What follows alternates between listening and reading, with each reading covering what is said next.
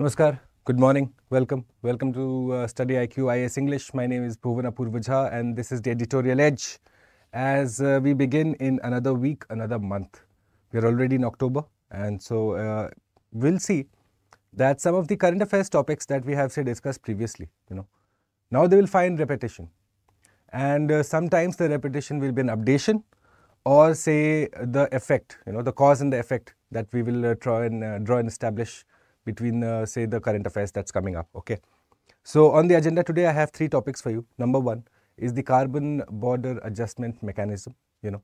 Uh, it has been in the news. We have discussed this previously say in uh, around june okay?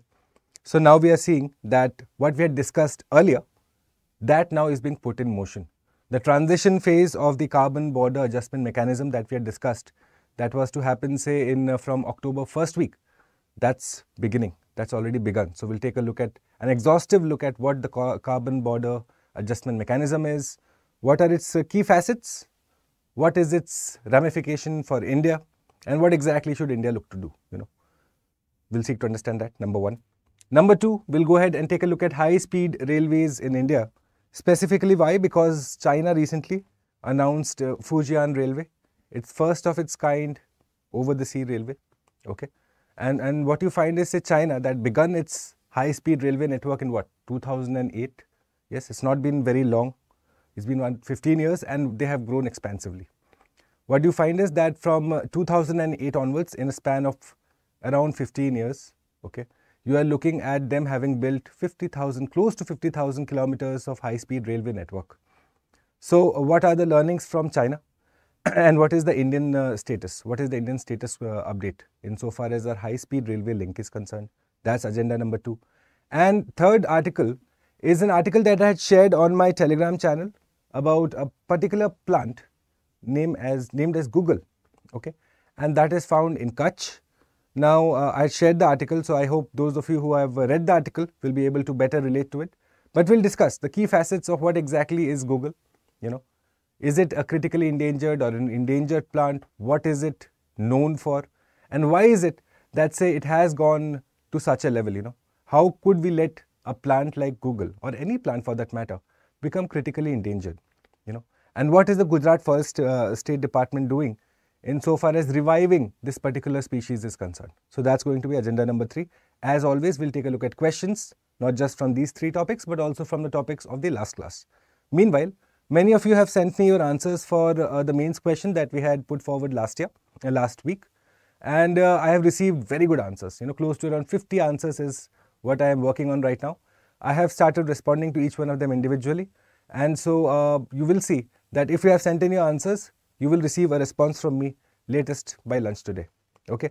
Bulbul, Coder, Bhagyashri, your neighbor, Geetanj. Good morning, guys. I'm sorry firstly for the slight delay, but I had tried my update. I tried to my best to update you all, not just on Telegram, but also here on my YouTube uh, chat box, right? Shall we get started then? Okay, let's get into it. This is my Instagram ID, by the way, where you can go ahead, join a very small and a very strong community, you know, of students who join early in the morning, as well as those who are a part of the Study IQ's prelims to interview process Whereas this is my email ID where you find that most of the students have sent their mains answers. This is the Telegram channel where you'll find the entire PDF of this lecture uploaded at around noon. Also the articles that are regularly shared here, questions that are regularly shared here. Eventually to make sure that you're not spammed, you're given the information that is required insofar as coverage of your geography, environment, your international relations, economics, all of that is concerned. Okay, right. So carbon border adjustment mechanism. Now, the European Union, firstly, the body that is responsible for it, now it had announced the, that under this particular mechanism, it is going to levy a carbon tax on imports of products, which essentially, why right now let's understand it as a lagan. Okay, let's break it down. So essentially, Pranjal, good morning, welcome, welcome. So essentially, the carbon border adjustment mechanism is a lagan that the European Union has decided to put on those products that according to it are not made from environmentally sustainable products or are non-green in nature. Okay. So now here it is, the first statement gives away the in inherent disparity in this uh, concept. Okay. That say uh, environmental uh, sustainability and non-green infrastructure and technology is, is capital intensive, which is why you find that say many countries, the developing countries of say Asia, countries in Africa, may not have those processes that could be considered to be say carbon non-intensive or say green in the eyes of European Union. So therein is the inherent unfairness of this principle too. Let's understand and go ahead what the rest of the matter is. Okay. The CBAM, the Carbon Border Adjustment Mechanism, it's a part of Fit for 55 in 2030 package, which is essentially their plan to reduce GHG emissions by at least 55% by 2030. Eventually, they are looking to go ahead and that they become net zero, right? So the long-term ob objective, it will ensure that EU's climate objectives are not undermined by carbon-intensive imports and spur cleaner production in the rest of the world, right? So essentially, can you understand the inherent problem here? That you're asking the rest of the world to go ahead and make cleaner systems, green systems, okay? That you're willing to go ahead and levy a particular tax on it, a lagan on it. But in terms of say your contribution in making sure that these say developing nations, poor nations have the ability at least, the capital to make these kind of green infrastructure, the European Union says, well, we have nothing to do with it yet. How is that possible then? Is it not unfair that you had the first, the first capture of resources, which allowed you to go ahead and build your infrastructure, which created a polluting uh, atmosphere in the first place, okay? And now what you find is that when the other countries are trying to do the same thing, you go ahead and levy a particular tax, the carbon border adjustment mechanism, okay? So the reporting has begun, by the way, 1st of October, which is essentially the transition phase right now, okay? What you find is that currently from the 1st of October, the transition phase of the carbon border adjustment mechanism has begun. And eventually this financial levy, this extra tax that is to be levied on these so-called carbon intensive imports from so-called carbon intensive countries made using uh, say non-green infrastructure, that is going to be levied from 2026. So around what, three years from now. Okay. But right now they are going to go ahead and collect data. So uh, imports of say steel, of aluminium, all of those companies now have to go ahead and submit a certificate saying what was the process under which it was made. Okay. And thus you find, let's go forward. So how are you going to go ahead and implement it? Look at this now. Firstly, the CBAM applies to products roughly in steel, aluminium, electricity, fertilizer, cement, essentially the core industries that we know of guys. Okay. Now requiring imports to declare the quantity of goods imported and their embedded greenhouse gas emissions. Okay, you are going to go ahead and do it on an annual basis, right? Currently, the data sharing that is happening between these countries and the European Union that began from the 1st of October is to be submitted on a quarterly basis, but eventually this will be done on an annual basis. Okay, so to offset these emissions, now what do I, I as an importer, so I am a CEO of a steel company based in say India, and I want to go ahead and send my steel to Europe. So what do I need to submit?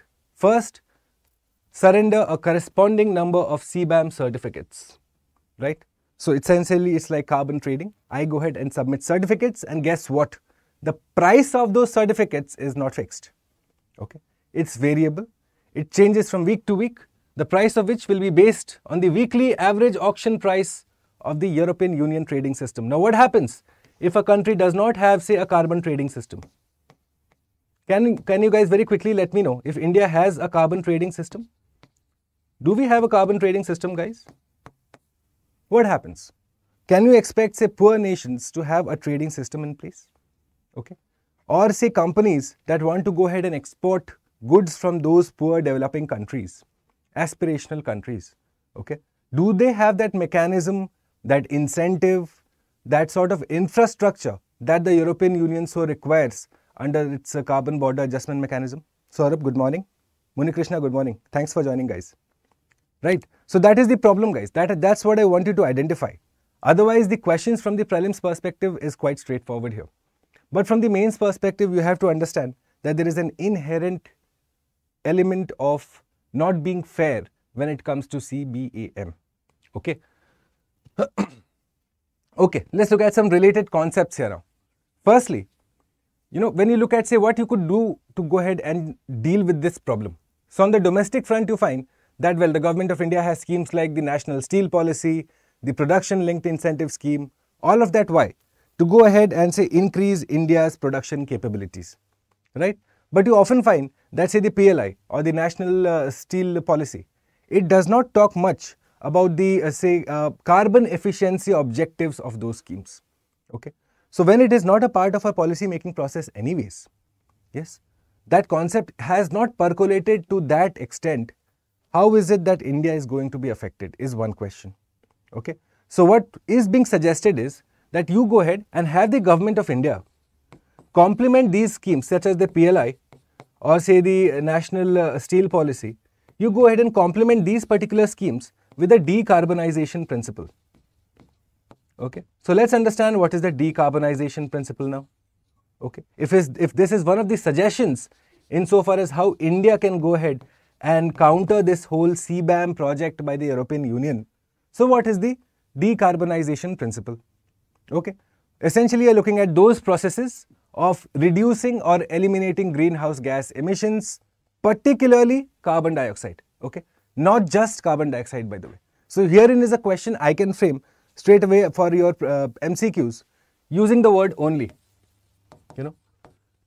So keep an eye out whenever you are looking for terms like particularly this, particularly that. It means it's one of the many. It's not the only one.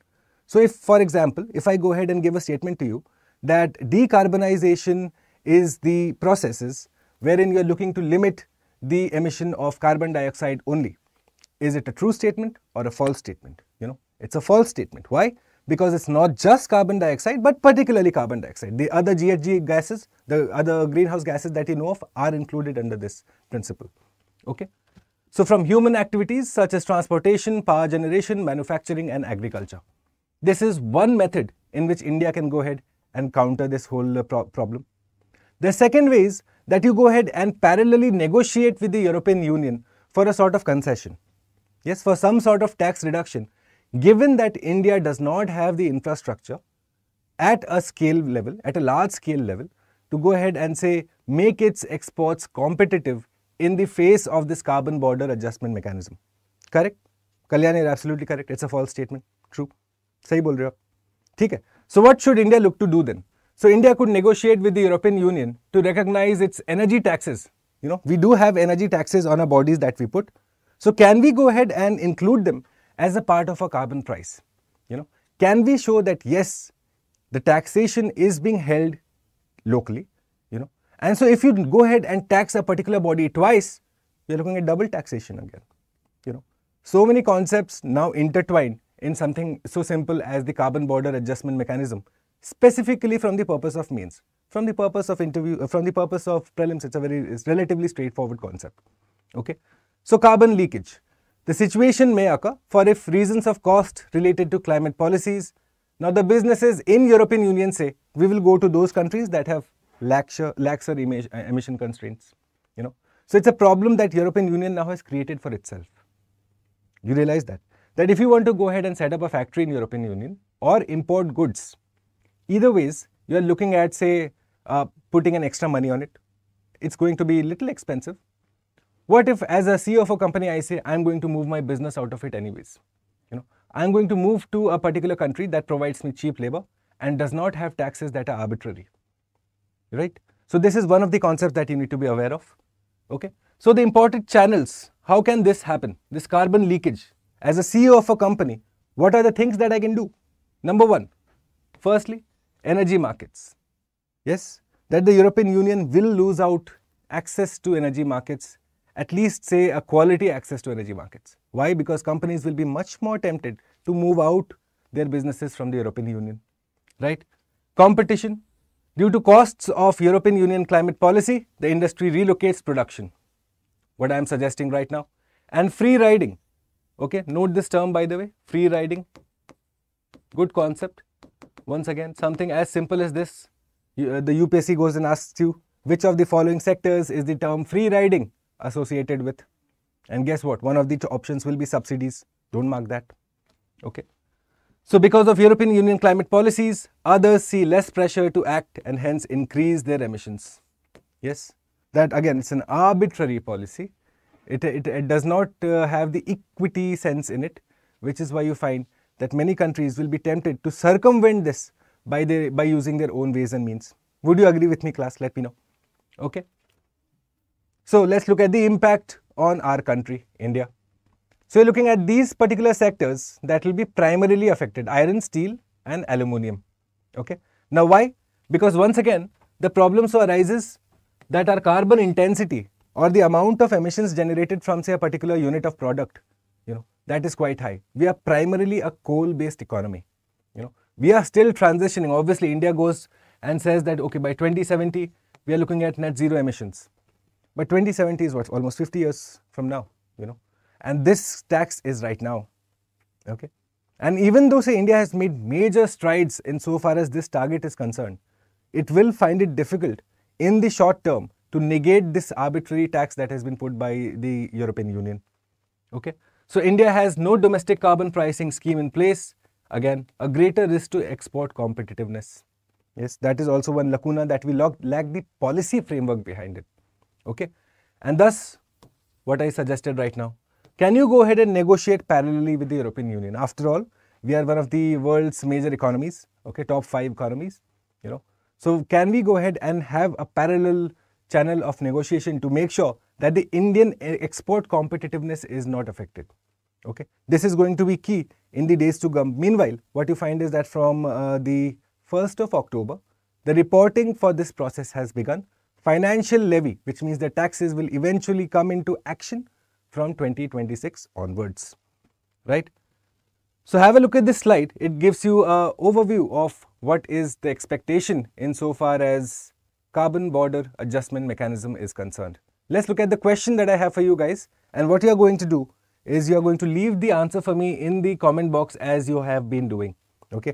I've been very pleased and in fact I've been very motivated by looking at the response of not just the MCQs but also the mains question which is why you I, will suggest the rest of you to those who are watching this later go ahead and try and answer the questions it's for your own benefit okay statement 1 Decarbonization involves reducing the levels of CO2 only and excludes agriculture sector from its purview. True or false?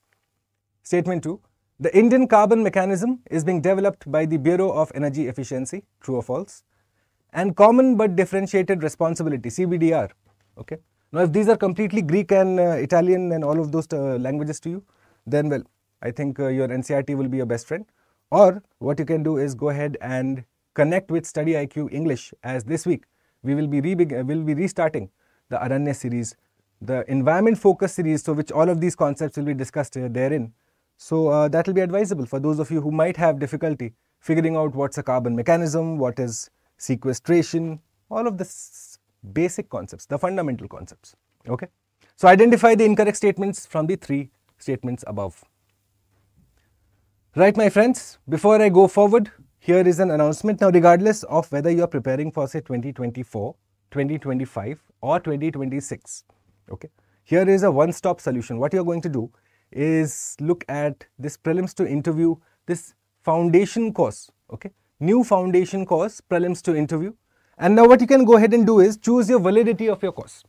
Yes. So if you're preparing for say 2026, you go ahead and choose a two-year validity. Okay. And you start your classes now because the thing is that eventually the focus should be begin early, give yourself the best chance insofar as your first attempt is concerned. Any student will tell you, you know, that the first time you go ahead and walk into the prelims uh, hall is the best attempt, regardless of how, how you fare. You know, you could score very poorly or very high, but you will go in with a clear head. And so it's uh, a prerequisite that that clear head be backed with right knowledge, right guidance, and right question solving ability. Give yourself the best chance to clear in the first attempt or the first two attempts itself okay. So, well, what you're going to do is look at this particular course. I'm associated with the English and the English, the bilingual batch, okay. And uh, physics, environment, IR, CSAT are my areas of interest. So, if you resonate with the way I go ahead and communicate my ideas and, and say the deliverables that are uh, important for a student, then go ahead and sign up for this ASAP, okay. Use the code BALIFE, you get allotted to my batch and then we begin what could possibly be a life-changing uh, year for you, right? So here it is, the new foundation prelims to interview course by Study IQ. Okay. Yes, Pranjul, I am absolutely excited myself too. You know, I'm looking forward to the Aranya series. Many students have reached out to me, including you, Pranjul. And so I wouldn't like to hold it any further. You know, let's start. Let's get cracking on the Aranya series because we have a long way to go. We have done what three, four classes, so we'll get it done ASAP. You know, it's time now. October आ गया तो it's time. Okay, high speed railway. HSR by the way. Okay, high speed railway also known as HSR. So what you find is China. they recently went ahead and unveiled their latest marvel in transportation, a high speed bullet track located in Fujian province which is set to redefine cross sea travel. Okay, they are making their bullet trains crossing seas now. And so what you find is that as a country, in 2008 began this Chinese aim of having uh, linking the different parts of the country through high speed rail or what we know as say bullet trains. Okay, and in 15 years they have roughly gone close to around 45,000 kilometers with an aim of 50,000 kilometers in the next two years. Okay, massive level of uh, industrialization, infrastructure development, backed by its heavyweight industries.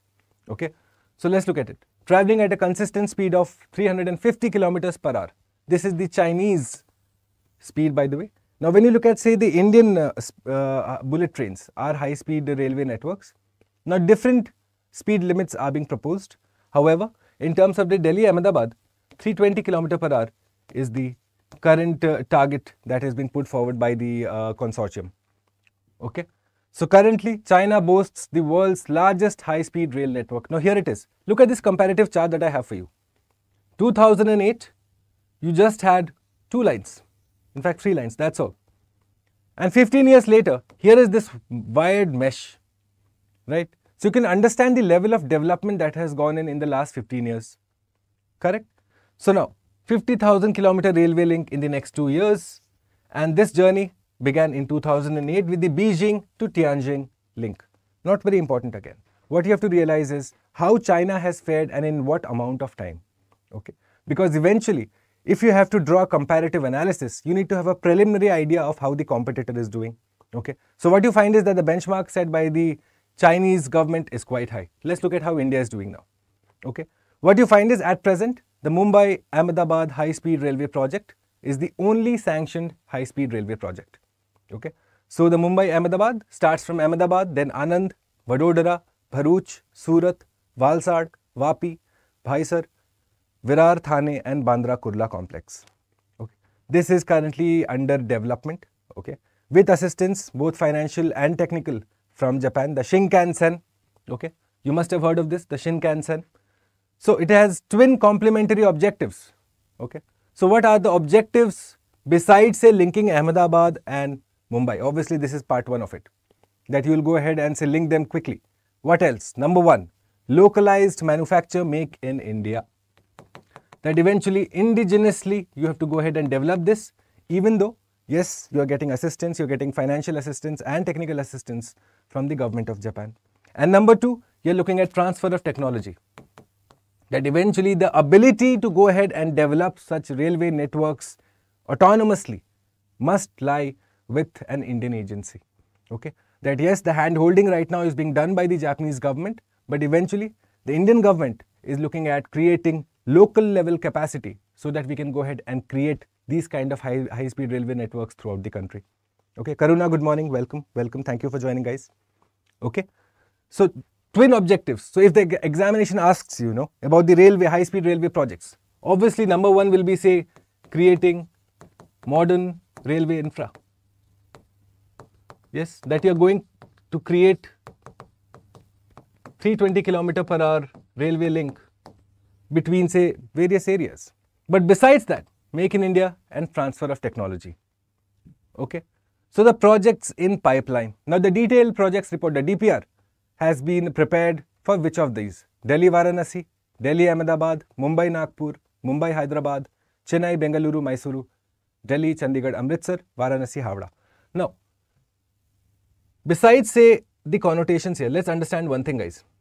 Do you understand that when you say look at the map of India, yes, the map of India, what you find is that if say this is Delhi and this is Howrah, okay, so this link from Delhi to Howrah, where you cross Pandit Deen Dayal Upadhyay railway station, formerly known as Mughal Sarai. Okay. So this entire stretch, what you find is that the track utilization which is essentially how many trains are running, you know, the track utilization is higher than 100%. Okay, which means no new trains can be added to this link until and unless you create more, say, railway lines that it is running to full capacity, in fact, more than full capacity. What happens is if you are running more than 100%, you are going to shorten the distances between two trains. What ideally could have been say kilometers distance between the engine of train B and the last bogie of train A, yes, now that distance is getting reduced, which means more and more say safety problems may so arise, right? So why this is why you find that most of these high-speed railway links, excluding one, Varanasi to Howrah, excluding one, most of them are in the western theatre or the western sector of Indian Railways, western zones, different zones. Okay, This is the primary reason you find that most of the modern railway development, insofar as introduction of high-speed trains or say Vande Bharat, is happening in the sector from say uh, West Bengal, uh, from uh, Delhi to Mumbai, okay, or say the western part. Howrah, New Jalpaiguri, has not get, got that much of the uh, rub of the green. Why? Because again, the track utilization is absolutely high. It's, it's brim to capacity. Okay. So you look at these particular projects. Now, you need to realize why I went ahead and uh, spoke this for you because the east part of Indian Railways observes this phenomenon, especially when you go from say New Delhi to say Howrah, crossing Patna, Pandit Deen Dayal Upadhyay uh, railway station, Kanpur, the whole stretch sees a lot of 100 more than 100% track utilization. Okay. Right. Let's go ahead and answer this. Now, this is a very tricky question. No? Somehow, most students would struggle with this. Why? Because again, local level uh, geography mapping is a little difficult. So, well, that's the whole agenda of this whole hour that we go ahead and solve questions, look at topics from all angles. Okay. Understand it in a manner in which we answer questions in prelims aram se. And more importantly, we are going to go ahead and say, write good analysis in the mains. Okay. So arrange the following stations of Mumbai Ahmedabad high speed railway project from south to north. So when you are going from Mumbai to Ahmedabad, which station comes first, which station comes last? Okay, Bharuch, Surat, Vadodara, Anand. You will let me know your answers in the comment box. Right, my friends, any problems related to the particular two topics that we discussed, this is where you reach out to me. Okay, don't be hesitant. I always tell this to my students, don't carry forward your doubts. Yes, so reach out to me if you have any particular issues related to the topics that we discussed today. Meanwhile, look at this. I shared this article, by the way, in my Telegram channel, and I was happy to see a few students ask me questions related to this just after reading the particular uh, article. Okay, so let's look at it. Kutch is Guggul. Now Guggul is essentially a native plant. Here it is. This dry plant that you see growing in this semi-arid region of Kutch, okay, known as Guggul. And what you find is that it has extensive medicinal value. Okay, here are a few facts about Guggul first. Okay, besides obviously that it is critically endangered as listed by the IUCN. More importantly, what you find is that Guggul, the, the particular tree, you know, its, its bark has its resin so a tree like this, for example, okay, it will take roughly what 7 to 8 years to develop, okay, 7 to 8 years for maturity. After that, you as a farmer go ahead and say cut its bark, take out the resin, you expect to get no more than say 200 to 300 grams of resin. But bear in mind, this 200 to 300 grams sells for a lot of money in the market. Why? Because it is considered to have extensive medicinal properties, especially in the Ayurveda uh, uh, line of treatment. Okay, so let's look at it. Overexploitation has led to it being declared critically endangered by the IUCN. Now you understand why overexploitation. Okay, firstly, sale of rate is high. Okay, you had this that caught on. You know, eventually earlier it used it, it wasn't sold for that higher price, but as commercialization of Guggul went on, what you find is rampant overexploitation of this plant happened to the point that it almost went extinct in the Kutch area from where it is endemic by the way, it is endemic to the area. Okay. So Meetho Guggul, a species from the same uh, family is also endangered and has high medicinal value and now awaits similar conservation attention. Okay. So two types of Guggul we are looking at. One is Meetho Guggul, one is Guggul. One is critically endangered, the primary Guggul one and the Me Guggul is endangered. Both of them again under stress for the same reasons that humans have gone ahead and overexploited it for commercial benefit. Okay. So look at it. The oleo gum resin tapped from the stem. So you go ahead, take the stem, break it, take the bark, go ahead, tap the resin from, from out from it. Okay. And you find that it is highly in demand in the herbal industry. Okay. Use of this plant in the treatment of diseases occupies an important place in the Ayurveda line of medicine, which is why the whole overexploitation for commercial benefit. Okay. So let's look at the resin. This is what it looks like, guys. Yes, almost looks like kishmish if, if, if you can see it properly. Okay. So what are the uses of it? Uses as an antiseptic, anti-inflammatory, blood cholesterol, bone fracture, arthritis, think of it. Many, many medicinal uses. Okay. So India used to export Guggul earlier. Now export is banned. Why? Again, critically endangered just din announce ho gaya. You cannot go ahead and uh, export it anymore. That would be a contravention of all the particular laws that are in place. So no ways you can go ahead and export it. Okay. It is endemic to Kutch, long gestational period, 7 to 8 years for maturity, resin generated 200 to 300 grams, which sells at a high price. Okay. So now what you find is that the Gujarat Forest Department has gone ahead and introduced sustainable forestry insofar as the Guggul is concerned. That saplings are now provided every year because again you re realize that the sapling takes at least 8 years to become a tree and after that, the moment you take the resin out from the tree, the tree dies. So which means you need a continuous supply of this tree so as to make sure that say at the local level, you have a particular say a model of economic uh, development that comes out of this particular species, right? So the Gujarat Forest Department has taken a major uh, role in this. Every year you find Guggul saplings now being uh, planted, being given to villagers. Eventually they are given the responsibility of say 7 to 8 year cycle that comes with the particular sapling now becoming a big tree. Okay. So you'll remember the Guggul tree endemic to Kutch area. Kutch area is a favorite of the civil services examination earlier. It has asked questions on I think each of them. Okay. It has earlier asked questions on Kharai camel. It has asked questions many times on Indian bustard, on wild ass. So you will let me know. Okay. Which of the above may be found in Kutch in Gujarat? If you have ever been to say Kutch, ever had the good fortune of visiting that place, you must have noticed at least one or two of them. Okay, so you let me know. Kharai camel, great Indian bustard, Indian wolf, wild ass. Which of these can be found in Kutch? Right, my friends, that concludes uh, this uh, morning's three topics that I had for you. You will find the PDF of this here on the Telegram channel. Meanwhile, let's look at the questions of the last class. Okay, the whole focus is on question solving, as you must have noticed. So let's look at it. New Caledonia in the Pacific Ocean is an overseas territory of which of the above? In the last class, we discussed Zealandia, the new eighth proposed continent, right? And therein we found that, well, New Caledonia is very close to Zealandia. You know, it's a part of, say, the Zealandia continent.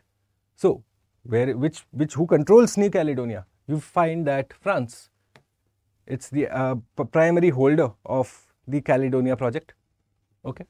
Let's look at this. Identify the incorrect options. Continental boundaries are defined by plate boundaries. Plates can contain both land and oceans.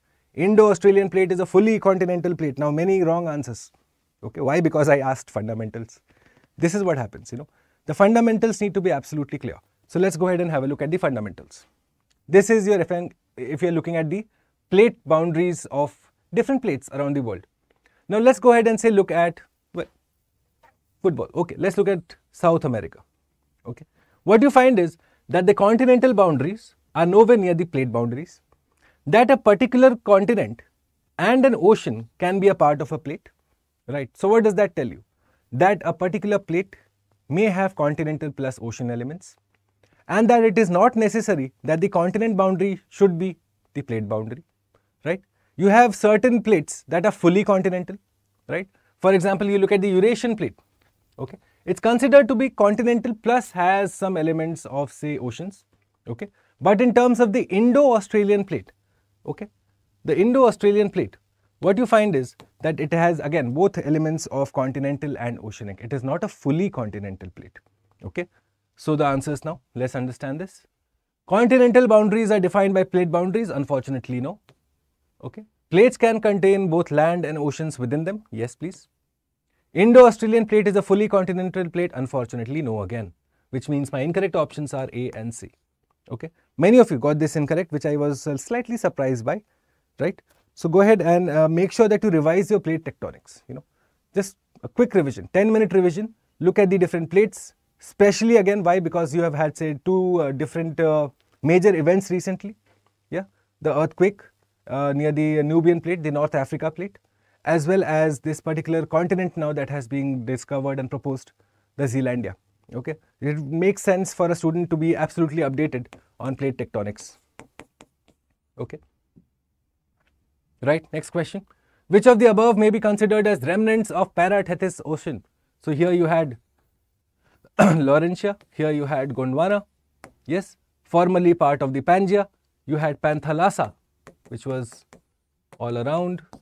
Once these two broke up, you had a formation of a new sea in the middle, and this came to be known as Tethys, okay, or Para-Tethys. And what you find is that eventually, this is a story that is a long way ago. But today, off late, what you find is that the Tethys now has been reduced to essentially three oceans. Primarily, number one is the Mediterranean Ocean, number two, the Black Sea, okay, and the Caspian Sea. It also has two more bodies to it. Yes, you will go ahead and have a look at them. Okay, but the uh, Arabian Sea, the Bay of Bengal are nowhere near to Para-Tethys, right? So the answers here being A, B, and C. Once again, plate tectonics, my friends. Right, which of the above may be considered as the continentality effect? Yes, your land, your ocean, right? The more nearer you are to the ocean, yes, the more under the influence of the moderating effect of the ocean you will be. The more far away you are from the ocean, well, the ocean plays hardly a factor in the local uh, climate there, the weather there, okay. So, it is to do with the distance from the sea or the oceans, right. So, answer being D here. Right, which of the above is used in deployment of airbags? We discussed airbags in detail, you know, the whole story of the different components that have been used in airbags over the years, right? And what you find is that today you have the use of sodium azide that is used. Earlier you had ammonium nitrate that is the same material that you use in the fertilizers that was used. Unfortunately, the state, the solid state of that could not be maintained it became explosive in certain uh, uh, uh, certain uh, uh, methods. Okay. You also had tetrazole that was used earlier, but that was far too expensive. So the correct answer right now is that D. Sodium azide is used as the particular, say, explosive which sets off the airbag in the event of a catastrophic collision. Right? Okay. Let's look at my fine individuals who have been answering these questions correctly. You might have got that question about plate tectonics incorrect. Okay. So my suggestion would be just give it 15 minutes of revision. Right. Pooja, Ulfat, Monica, Harshit, Shubham, Shriram, Akansha, Gopesh, Kalyan, Crystal, Vidisha, Honey, Vaishnavi, Coder, your neighbor, Aditya, Ayush, Frown Clown, Rahul and Akshay. Guys, thank you firstly. You know, every morning I should thank you. Why? Because it takes continuous effort to go ahead and solve questions. But I'm happy to see you engage with this. Why? Because you will realize eventually, if you keep at it, you will be much at ease when it comes to solving questions, you know. And to the rest of you, if you're not engaging here, well, regardless of that, what I can suggest is that make question solving your priority, you know. Your selection in the examination is codependent on two things. Number one is a knowledge base, which I can assure you, a serious candidate, many serious candidates, in fact, most of them will have a similar knowledge base before the examination the selection now then gets focused on whether you're able to solve questions. Those questions, those individuals who have made question solving their focus over the last six, seven, eight months will be a lot more comfortable than someone who's just started solving questions say in February or March. Okay, so don't make that mistake. Solve MCQs. Start with your mains answer writing whenever you find a question of relevance, and uh, so do that. It'll it'll eventually help you a lot. Why? Because we're in October you know. the already I can feel the winter is in the air, which means if the winter has come, the prelims has come. You know, it doesn't take a long of, long time for the winters to go ahead. It's it's hardly anything. Okay. So that concludes it, my friends. We will uh, see you tomorrow morning. There will be no delay tomorrow morning, thankfully. 6:30 a.m. We'll see you with another set of topics. More importantly, those uh, students who have sent me the answers for the mains question will have their responses by lunch this uh, morning, by this afternoon, and we'll look at further questions, further concepts, And here onwards, I can also assure you that the Aranya series will be making a comeback this month. So uh, get connected with me on my Telegram channel as therein I'll upload the uh, first information of the Aranya series date and time. Okay. Till I see you tomorrow morning, 6.30 am. Coder, Revisit and all of you guys, thank you so much for joining. Please consider subscribing to StudyIQ IAS English and also connecting with me on my Telegram and Instagram channel. Have a productive day guys. Bye.